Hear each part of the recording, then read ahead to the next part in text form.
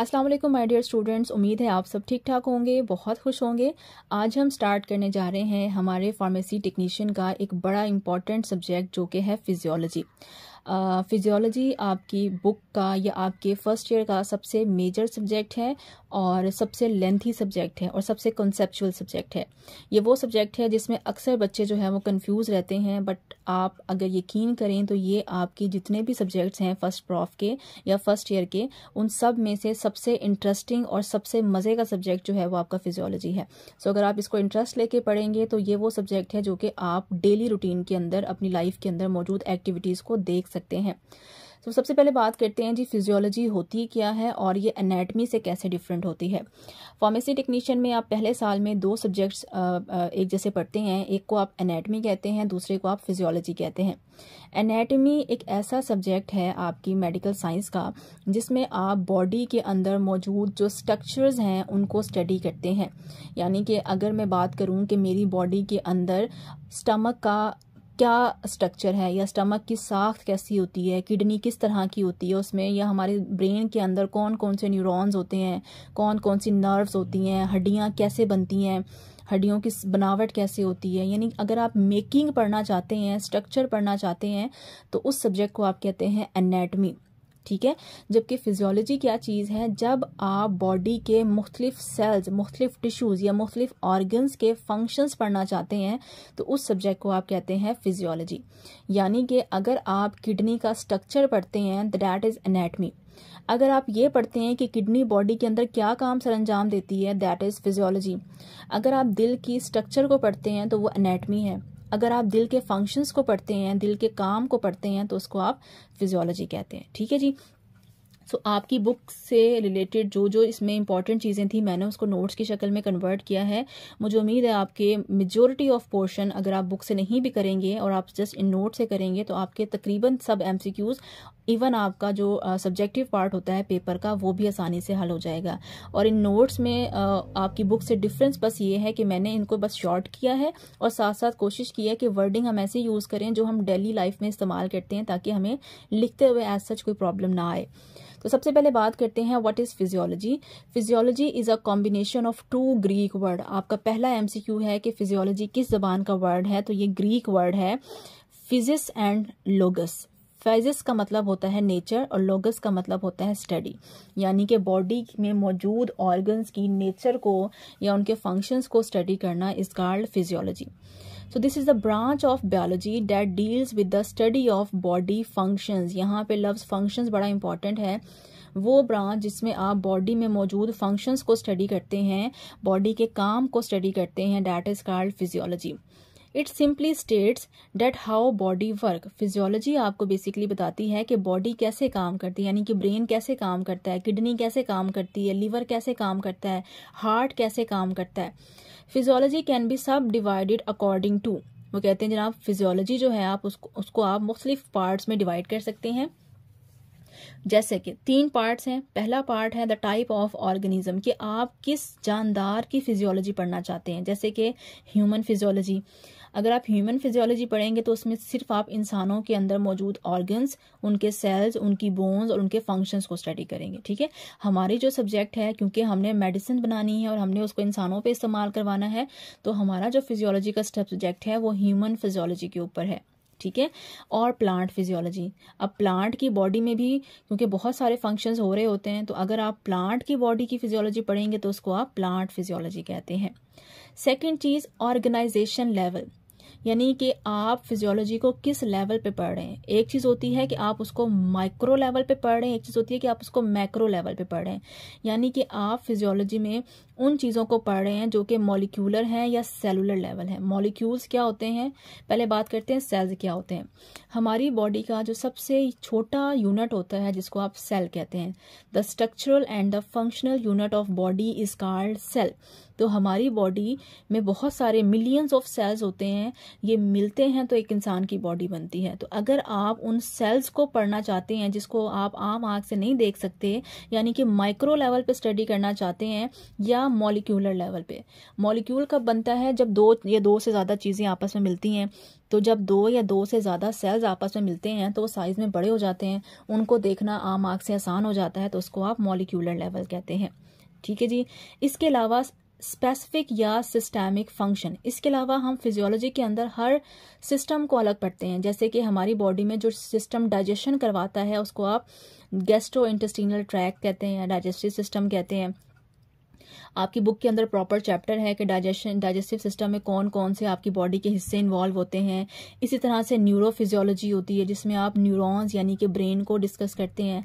इस बुक के अंदर या इस चैप्टर के अंदर आप सिर्फ़ दिमाग से रिलेटेड चीज़ों को पढ़ते हैं। इसके अलावा कार्डियो फिजियोलॉजी होती है, जिसमें आप हार्ट से रिलेटेड फ़ंक्शंस को पढ़ते हैं। अब वो कहते हैं, जनाब, हमारी बॉडी में अगर हम बॉडी की बात करें तो हमारी बॉडी में जो सबसे छोटी छोटी चीज़ें होती हैं, उनको हम कहते हैं ऑर्गेनेलिज़ ठीक है? जब ए बहुत सारे ऑर्गेनेलेज आपस में मिलते हैं तो वो क्या बनाते हैं? वो सेल बनाते हैं। जब बहुत सारे सेल्स आपस में मिलते हैं तो वो टिश्यूज बनाते हैं बॉडी के। जब बहुत सारे टिश्यूज आपस में मिलते हैं तो आपके पास ऑर्गन बनता है। और जब बहुत सारे ऑर्गन आपके पास मिलते हैं तो आपके पास ऑर्गन सिस्टम बनता है। जैसे कि बहुत सारे अगर, जैसे कि आपके पास स्मॉल इंटेस्टीन लार्ज इंटेस्टीन मैदा, ये तमाम चीज़ें अगर मिल जाएँ तो ये सारे ऑर्गन्स हैं। तो ये क्या बना देंगे? ऑर्गन सिस्टम उस सिस्टम का नाम क्या होगा? डाइजेस्टिव सिस्टम और जब बहुत सारे ऑर्गन सिस्टम मिल जाते हैं, जैसे डाइजेस्टिव सिस्टम मिल जाए नर्वस सिस्टम मिल जाए कार्डियोवास्कुलर सिस्टम मिल जाए तो उससे क्या बनता है? हमारे पास ह्यूमन बनता है, ठीक है? या ऑर्गेनिज्म बनता है। इसकी जगह आप इसको एरर डाल के लिख लें कि इससे फिर हमारे पास क्या बनता है? ऑर्गेनिज्म बनता है।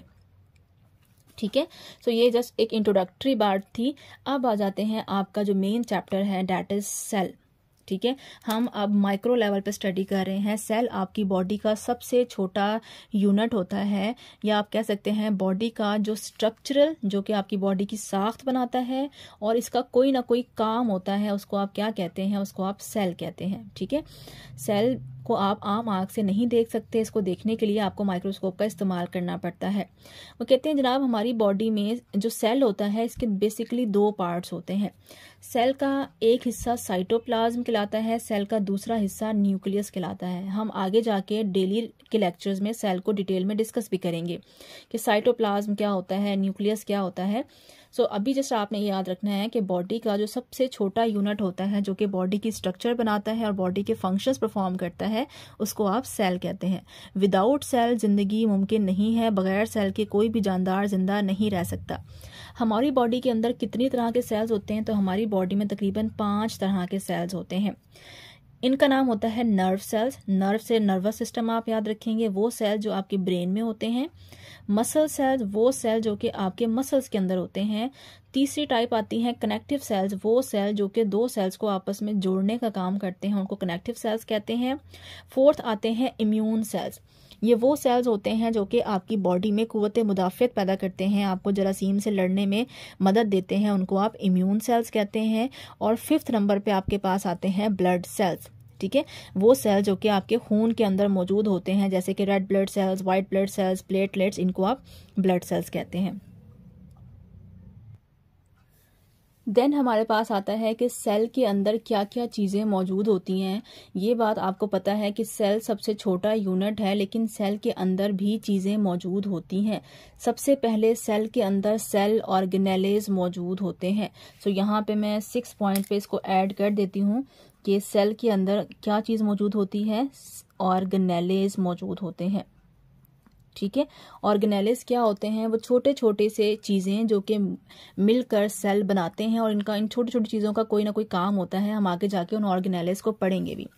तो सेल में एक चीज़ तो मैंने आपको बता दी जनाब ऑर्गेनेलिस होते हैं, यानी कि जो ऑर्गन से छोटे छोटे होते हैं। सबसे छोटी चीज़ जो बॉडी के अंदर होती है वो ऑर्गेनेलिस होते हैं। बहुत सारे ऑर्गेनेलिस मिलते हैं तो क्या बनता है? सेल मिलता है।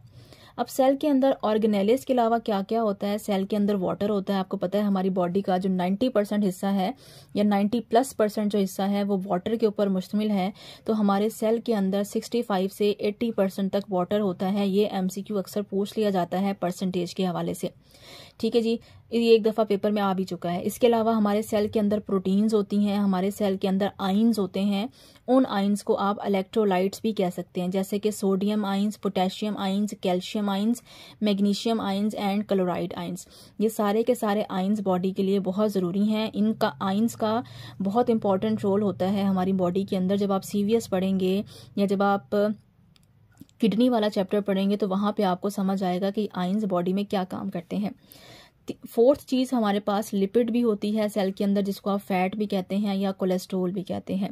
और फिफ्थ नंबर पे हमारी बॉडी में या हमारे सेल के अंदर शुगर भी हैं और कार्बोहाइड्रेट्स मौजूद होते हैं। शुगर या कार्बोहाइड्रेट्स एक ही चीज़ के दो नाम है। देन आ जाते हैं कि इसके अलावा सेल में क्या होता है, क्योंकि मैंने यहाँ पे एक पॉइंट ऐड किया है सेल ऑर्गेनेलिज तो सेल के अंदर वाटर प्रोटीन आइंस लिपिड्स और कार्बोहाइड्रेट्स के अलावा क्या होते हैं? सेल ऑर्गेनेलिज होते हैं। उन सेल ऑर्गेनेलिज के नाम क्या क्या होते हैं, उसको आप सेल मेम्ब्रेन कहते हैं या प्लाज्मा मेम्ब्रेन कहते हैं? साइटोप्लाज्म होता है एंडोप्लाज्मिक रेटिकुलम होता है राइबोसोम्स होते हैं जो कि प्रोटीन बनाते हैं, इसलिए हम इसको प्रोटीन फैक्ट्री कहते हैं। गोल्जी बॉडीज होती हैं, जिनको आप गोल्जी एपरेटस भी कहते हैं। माइटोकॉन्ड्रिया होते हैं, जिनको आप पावर हाउस ऑफ़ सेल कहते हैं।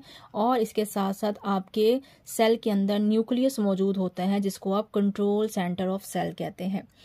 सो so, आज के लेक्चर में हम जस्ट सेल ऑर्गेनालिस तक डिस्कस करेंगे।